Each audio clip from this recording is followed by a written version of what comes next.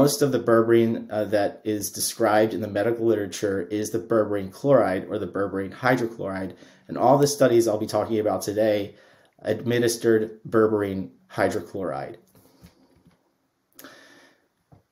If you collect all of the current publications on berberine, you'll find that there are 65 clinical trials, human clinical trials, using berberine hydrochloride as a single agent. There are quite a few reviews, meta analyses. Uh, there are about 1,200 animal studies that have been published to date, and there's a wealth of in vitro data that informs some of the mechanistic information um, that I will talk about later in this lecture. So let's just break down the clinical trials and what they focused on. Insulin and glucose homeostasis are the main focus of berberine research. Uh, there are 18 different human clinical trials using berberine as a single oral agent to support insulin and glucose uh, homeostasis and promote healthy glucose responses. Overwhelmingly, the results of these trials have been positive. Uh, another interesting area of berberine research focuses on the gastrointestinal uh, tract and the microbiota. And berberine is known to modify the microbiota in the GI tract, and that is one of the leading hypotheses as far as how berberine might be executing its beneficial cardiovascular and metabolic effects. The third area of focus is cardiovascular health and lipid profiles, and we'll talk about some of that research in more detail. Some clinical trials have addressed liver health. Uh, quite a few um, have uh, kind of gone pretty deep into the pharmacokinetic issues with berberine. Uh, berberine bioavailability is very low, so there are some studies exploring ways to get around that. Um, and then finally, drug interactions are an important area uh, because berberine is an unusual compound. It's an alkaloid, it has a nitrogen uh, atom in it. We don't really come across these types of molecules in the, the dietary supplement space very often. Um, and it does have the capability to directly interact with P450 enzymes that metabolize various medications. And I'll talk about the drug interactions uh, when we get to the end. So let's go into some of the evidence-based interactions with the focus on cardiometabolic indications that are shown here. So berberine has been uh, studied primarily to support glucose responses and promoting a healthy glucose response is one of the main reasons why you would want to consider using berberine in practice. Another indication is lipid profile. And then thirdly, vascular health. So these three areas pretty much sum up uh, metabolic health and cardiometabolic health, which affects a very large percentage of the US population. So berberine has a variety of mechanisms that converge on supporting healthy glucose responses. And one of those mechanisms is supporting the expression of the actual insulin receptor itself. So this was a study that found that berberine supports the expression of the insulin receptor in a variety of different human cell lines in a dose response um, manner. So this is one of the um, one of the many lines of evidence that shows that berberine actually supports the function of the receptor, the expression and function of the receptor. And then when they gave berberine to humans in this study, uh, they found that the percentage of blood cells that expressed insulin receptors increased with supplementation. So, in essence, berberine is helping that insulin receptor to present itself at the membrane and be there when it's needed so that it can help the body better respond to the glucose that's floating around in the bloodstream. So, this may explain why the evidence overwhelmingly supports the, uh, the fact that berberine supports this healthy glucose response. And here you can see in the open circles fasting blood glucose and in the, the dark circles postprandial blood glucose. This was a small study of 36 subjects. They received 500 milligrams of berberine three times daily for six months. And the study found just within one week, there was uh, a significant uh, favorable effect on the uh, glucose response. So um, the effect can be appreciated within a couple of weeks after a supplement is started. You don't necessarily have to wait many weeks or months to wait, you know, to see a benefit. This was a single arm study of 12 women. This actually used a form of berberine that's better absorbed than other forms of berberine. And on the left, the HOMA index is a way of measuring how well insulin is working. The insulin that's already in your body, how well is it actually working? And they found that after 60 days of supplementation with this phytosome, uh, which we'll talk about later, there was a significant benefit as far as how insulin was actually working. And then on the right, there was also an improvement in the amount of insulin that was being uh, produced. So maintaining healthy insulin levels um, would be another uh, potential benefit of berberine based on this small study. So most of you probably took some uh, courses in, in medical school or in your allied health education about how insulin and glucose uh, actually work, you know, how insulin supports the disposal of glucose and how that is relevant um, to managing cardiometabolic health in practice. So let's just take a minute to review that. So a beta cell is one of the cells in the pancreas that releases insulin. So the beta cell releases insulin, and then the insulin binds to its receptor, and this occurs throughout the body, especially in muscle muscle cells, fat cells. Uh, it it triggers the translocation of glucose transporters, those channels, to the membrane, and that allows glucose to enter the cell.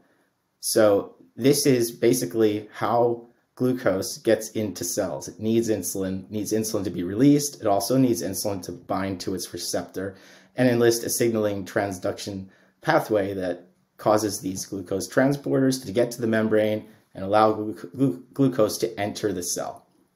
So there are a variety of things that can go wrong here, and a poor diet uh, will typically trigger a reduction in insulin sensitivity. So the actual receptor won't work as well once it's bound. Uh, berberine tends to work in both of these different areas, including the release of insulin from the beta cell. So we'll talk about this, uh, and then we'll also touch on the second mechanism uh, by which berberine supports the actual uptake of glucose uh, by supporting the insulin receptor function. So in mice, if you take out a certain potassium channel, which is located in the pancreas, if you genetically knock it out, the mice no longer respond to berberine. Uh, their glucose levels don't change if you give them berberine. So it just doesn't work as well. So this finding led to this hypothesis that this, uh, this interesting um, compound is actually supporting the release of insulin from the pancreas through this potassium channel. So how might that work? This is a close-up of the beta cell in the pancreas. And insulin release is dependent on the membrane depolarizing. And that membrane depolarization is regulated by this potassium channel. So researchers found that berberine actually binds to this potassium channel and causes it to close. And when it closes, the potassium current stops. And that allows the membrane to depolarize, and that encourages the release of insulin. So this is one of the, the newer mechanisms of action that have appeared uh, in the preclinical literature, suggesting that berberine supports the release of insulin through this potassium channel by direct interaction with it. The Western diet is uh, one of the biggest threats to what you're looking at right here. This delicate system where insulin is bound uh, to its receptor and that receptor activates glucose transporters. So high calorie diets, high fat and sugar intake, being overweight will reduce the function of the insulin receptor. Um, and also uh, any kind of oxidative stress or immune activation like inflammation will reduce the ability of that receptor to engage glucose uptake. So, interestingly, berberine attacks both of these, and berberine supports the expression of the insulin receptor, as we talked about a moment ago. It also supports the expression of insulin receptor substrate 1, which the receptor needs to activate these transporters and get them to the membrane. It also negatively regulates NF kappa B, which orchestrates immune activation um, in the presence of pro inflammatory cytokines. And this um, also involves a, uh, an oxidative stress response that is enhanced through berberine through NRF2, which supports antioxidant defenses. So that mitigates oxidative stress that would also negatively regulate this entire process. So we talked about glucose, let's talk about lipids. So berberine supplementation generally doesn't affect HDL cholesterol. It generally doesn't affect triglycerides. Its main effect is LDL. So this was a study of 80 individuals receiving a dose of 500 milligrams berberine twice daily for three months, and there was a significant benefit for LDL cholesterol. So the dosage, even at uh, 500 milligrams twice a day, um, can also be efficacious in a three over a three month period. So if you are using berberine for lipid profile, you want to use a minimum of 1,000 milligrams per day. Ideally, 500 milligrams twice a day would be your minimum dose, and then allow three months to reevaluate. Um, but they did this and they found significant support for healthy lipid profile compared to placebo. And then when they stopped the supplements, the benefits were reversed. So this is something you always have to think about uh, when you're using any kind of um, compound, whether it's a medication or a supplement. What will happen if you stop taking it? Um, this actually lends uh, support to the data set. It strengthens the result. Uh, but you know, if you stop taking it, the lipid profile might uh, you know kind of go back to where it was. Um, so this this may be a long term uh, supplement if you want to help maintain a healthy lipid profile. So they started the supplement again, and the effect was replicated. So really strong data set, small study, um, but um, very convincing results. So in order for LDL to be disposed properly uh, in the body, it requires the LDL receptor. So the LDL receptor binds LDL and it's internalized and goes inside of the cell, it gets broken down. Uh, this is how the liver gets rid of LDL. There is one uh, small problem with this. There's a protein called PCSK9, and that actually sits around and waits to bind to the LDL receptor and it destroys it. So once it's destroyed, it can't go back up and be recycled and work again and again. And this reduces the amount of the LDL receptor that is available on the membrane to internalize LDL particles. There is new evidence that suggests that berberine modulates this process. It directly modulates PCSK9 and may thereby support the stability and abundance of LDL receptors at the membrane, and that is one of the key steps of proper disposal of LDL. It remains to be established whether you can get enough berberine into the body for it to do this. Um, because the bioavailability of berberine um, can be as low as 1% or less, um, you might not be able to achieve this with doses commonly used. Um, so there are probably other mechanisms at play if you're using the typical dose used in clinical trials. So this is basically a uh, hypothesis, but it is an interesting one. Um, there is a, a, great proof of principle out there that PCSK9 inhibitors uh, favorably affect uh, lipid profiles. So by blocking PCSK9, you can actually enhance the number of LDL receptors that are at the membrane. If you're interested in this infographic, I will point to a resource at the end that you can check it out with a short article that goes into it. Another area of uh, research on berberine involves the vasculature. And there are two components of vascular health that are worth mentioning here. First, the vascular smooth muscle cells. This is this is a compartment of the vasculature that most people might not be aware of, or you know, it's not talked about as often as it should because these smooth muscles regulate the thickness of the artery, and you want these muscle cells to maintain them their own you know normal shape and size because once they become bigger um, then the vascular thickness increases. So this is something you want to avoid. Anything that helps keep these smooth muscle cells and uh, with you know in, in, in the proper um, shape and size is something that's desirable. And of course many of you are probably familiar with endothelial health as a, a pillar of cardiovascular health and berberine supports both of these so in the vascular smooth muscle berberine helps to attenuate the actions of growth factors that would normally cause these muscle cells to grow. Uh, it also helps to arrest the cell cycle of the muscle cells so that they are less likely to grow.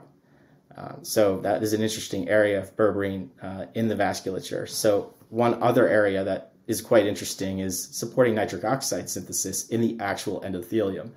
And just to refresh your memory, nitric oxide is made from arginine, which is an amino acid It requires uh, an enzyme to convert it to nitric oxide, and berberine may support that as well.